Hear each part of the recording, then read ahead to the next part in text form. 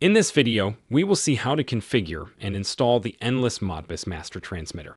As a reminder, the TX Modbus Master allows you to read or write on 60 Modbus registers, distributed among a maximum of 10 slaves. The Modbus transmitter is used in proprietary LoRa mode.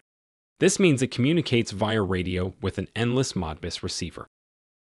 Let's get started. The first step is to connect your Modbus TX to your slaves. The connection is made via RS485 using the communication cable provided with the Modbus master transmitter. Also, don't forget to screw the antenna delivered with the product onto the antenna connector. Once your Modbus TX is properly connected to the slaves you want to read, you can move on to the next step. The entire configuration will be done from the embedded server in the receiver that the Modbus master transmitter will communicate with. To access the receiver's server, you need to power the receiver between 7.5 and 24 volts DC, and then connect it to your PC via Ethernet. Also, make sure to connect a long-range antenna to your receiver. We can now move on to the product configuration phase. Once your receiver is powered and connected to your PC, we will configure the Ethernet settings of the PC to access the configuration server. The Ethernet settings configured in this example correspond to the Ethernet settings that allow access to the server with its default IP address. The default address of the receiver is 192.168.77.77.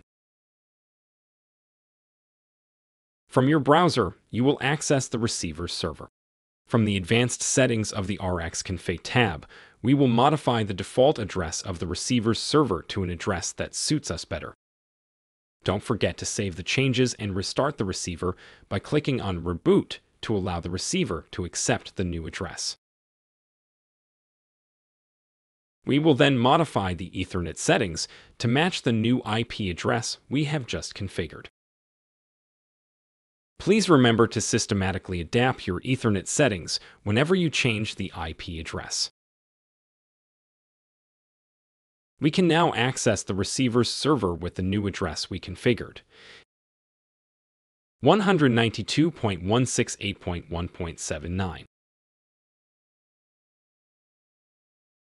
We can now declare our Modbus master transmitter that will be paired with the receiver. From the Add Sensor button in the TX Config tab, enter the parameters of the Modbus TX, its location, its LoRa ID, and its periodicity.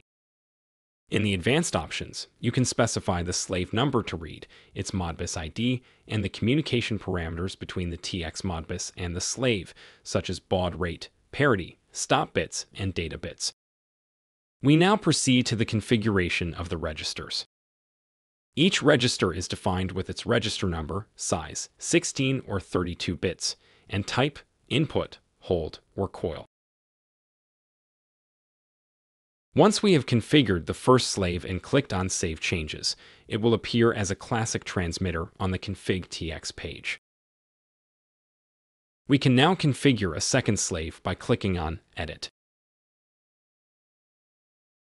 We need to choose a different slave number and Modbus ID. The configuration of the registers is done in the same way as when we configured the first slave.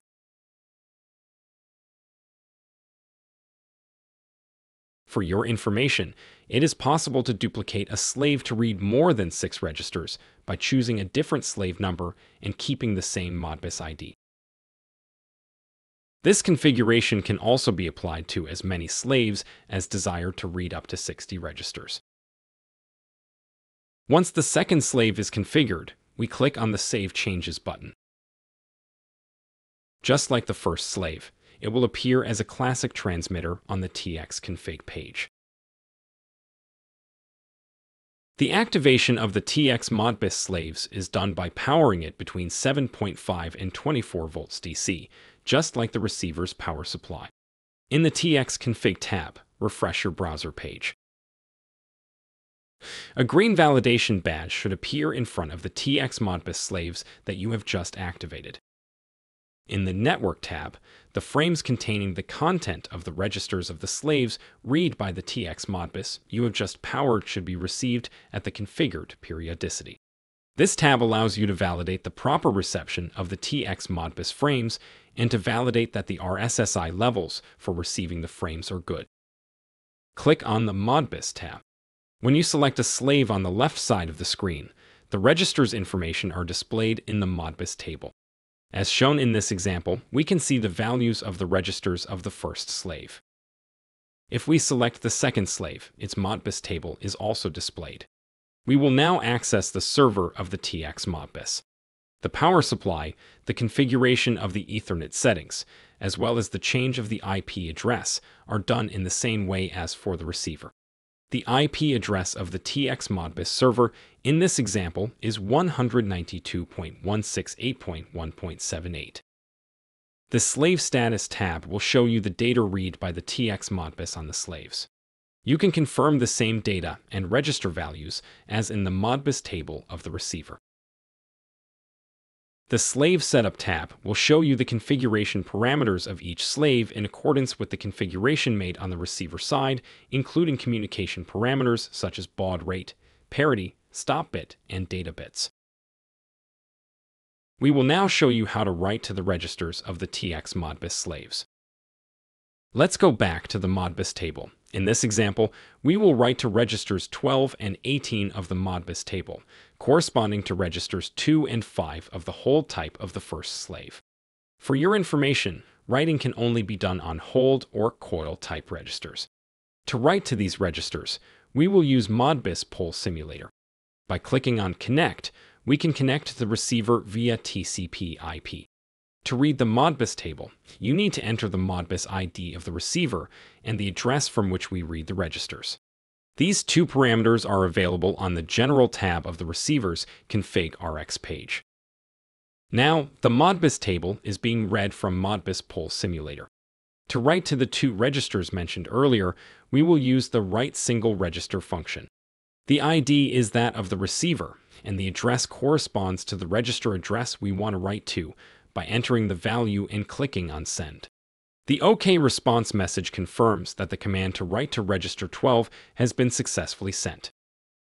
We then write to register 18 in the same way by entering the value of interest. For your information, the feedback delay after writing to a slave register depends on the periodicity with which we have configured the TX Modbus. We can see that the registers are updated with the new values after sending the periodic message.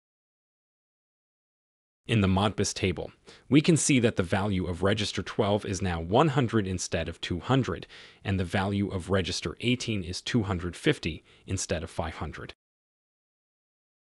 In the Slave Status tab of the TX Modbus server, we can also confirm the same data and register values as in the Modbus table of the receiver.